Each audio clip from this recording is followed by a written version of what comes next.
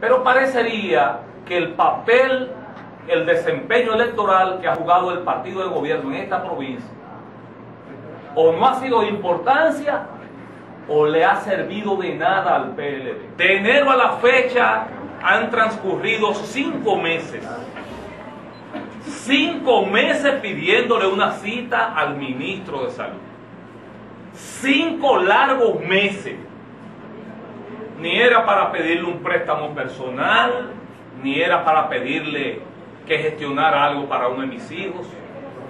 Sencillamente para pedirle que viniera a ver esta realidad. Aquí hay corresponsales de prensa nacional y yo reitero, me importa que digan que yo dije que el hospital de Atomayor es la antesala del mismo infierno.